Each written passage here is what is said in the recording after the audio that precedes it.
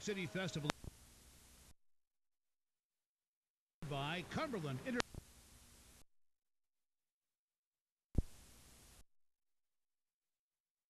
We're talking to Mr. Ryan Williams and Mr. Leslie Davis, two uh, members of Street Works, uh, an organization that uh, does HIV and AID uh, outreach. And of course, Mr. Davis and uh, Mr. Williams, I think Mr. Uh, Davis, we promised you before we had our first commercial break that we give you an opportunity to talk about outreach and some of the activities that you're involved in at Street Work.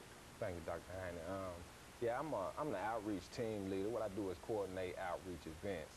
Um, a lot of times, um, uh, the part of what I do leads into Mr. Williams um, because we do HIV testing on the street.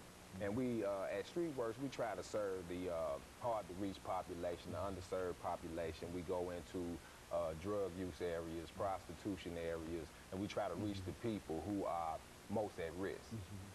And uh, we do that with, uh, we give away condoms and information about our programs, as well as we try to get people to do the HIV test. We have a big mobile unit that we go and, and, and, and do those type of things. We also participate in health fairs. We coordinated ourselves, the whole agency, uh, a fall festival uh, in September where we invited different agencies from around town to come out and do several different types of screenings. We were diabetes, blood pressure, um, from different agencies mm -hmm. around the uh, city. And we brought them to the areas in which we serve the people uh, in the South Nashville area. So um, in, in doing that, we reach a wide population and variety of people, you know. We try to, uh, we do a lot in the African American community. We have had some inroads with the Hispanic community, but a lot of it is in the African American community.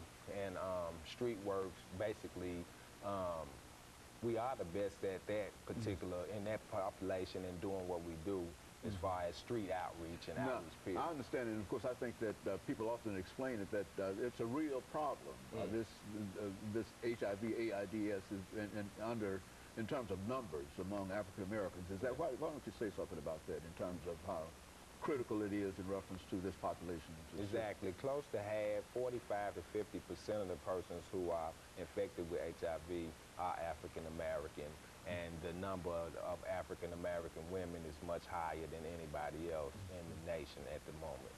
So that that is a real problem. Um, I think that the lack of education, a lot of miseducation, a lot of myths are still floating around, even though um, I've been doing this work 10 years, and I know you've been mm -hmm. doing several shows over the years mm-hmm. uh, concerning this, Mr. Crowder. Everybody, the education is out there. I think that we still have a big, a real big stigma. Um, I think especially in the South mm -hmm. about HIV, AIDS, persons who are living with HIV and AIDS. I think that um, it's important for us to dispel the myth, myths mm -hmm. and dispense facts concerning HIV and mm-hmm. AIDS, mm -hmm. um, how you get it, how you don't get it. And at this point, uh, a lot of people still believe that it's a death sentence if you do get it. They don't want to talk about it. Um, people who think they're not infected um, shun people who are infected. Mm -hmm. So people who are infected don't want to seek help, mm-hmm. uh, don't want to go to the doctor. Um, they, they don't want to socialize, and they don't want to tell people who they may come in contact and could mm-hmm. possibly infect mm -hmm. that they are HIV positive. Mm -hmm. And I think that's, that is a big problem as far as, uh, and especially in the African American mm-hmm. community, the stigma. Uh, I think that we definitely have to get over that and embrace those of us whom uh, have the virus in, in, in, in order to make them comfortable about talking about, about it. what they ed exactly educating other people so we can keep our whole community safe. Mm -hmm. You see. And, and Ms. Williams, in, in, in terms of uh, uh, early intervention, what, what, are some of the things that you find to be uh, very, very important in terms of dealing with this disease? I'm going to piggyback on Mr. Davis, and I'm going to say the, the stigma is one of the largest issues that we have. Mm -hmm me coming from a uh, college education background, we, we never even discussed this in any of my classes mm -hmm. that once that you have, once you have came in contact with this, people look at you like mm -hmm. you are nothing anymore. People, that's why people are, are so harsh and they don't want to disclose the fact that yes, now that I have this disease, I got to keep to myself. I got to go in the shell, and now that I, I can't be in, in society like I was or once was, they think life is over. As it as it may seem at that time, it isn't. And so, as my job, one of my jobs is to instill in them the hope that it's not life is not over, and then to also let them know that with the medical advances, the things that, that have came a- it's came a long way from when mm-hmm. the 80s when HIV and AIDS were 1st mm-hmm. introduced until now, we have uh, over 20 something drugs that people can take, mm-hmm. and the drugs are designed to make them live a, a substantially longer life. And so if they do the, do the right things, eat eat properly, and take care of themselves as, as a normal person would, then they can live a productive life, and they can have productive relationships. But once they come in contact with HIV, they feel like I can never have an intimate relationship again because I'm not going to tell somebody that I have HIV or AIDS because they're not going to want to talk to me.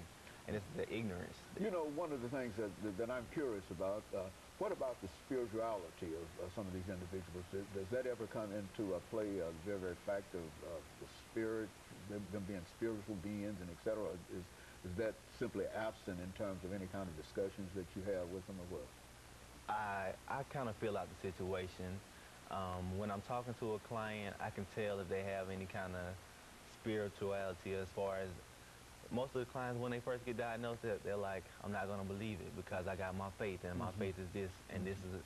and so I can I can go on that and say, well, you know, you took it, you took a chance, you got risky behavior, you did this, and now you have to take the responsibility for it. And so I can give them the the information that I have and tell them that, of course, if you're spiritual and you believe in this God or that God, your God will bring you out. And with that being said, don't lose your uh, don't lose your hope. Just don't lose your hope. And, and, and, and as, as- you've worked in, and we've got about a minute, uh, Uh-huh. Davis, and you've worked in, in, in this area uh, for a number of years, and, and, and so you think that the stigma is still, as well as you, both of you think that this, the whole stigma thing that keeps uh, us from being able to really deal with this as an issue. Yeah, I think stigma uh, definitely perpetuates the uh, disease. Um, it keeps us um, uh, behind as far as in knowledge and even actions. Because uh, people do not act um, as they probably should or in a healthy manner when uh, they are faced with the stigma and faced with, um, you know, living life with this virus. So it's, it's, it's stigma plays playing a big part. You know, miseducation, undereducation, that type of thing has a lot to do with it. But I think that if people were more open to talking about it and having these kind of discussions, we can Very move good. forward. And of course, uh, uh, we're going to be back with our audience following this very, very uh, short uh, commercial break.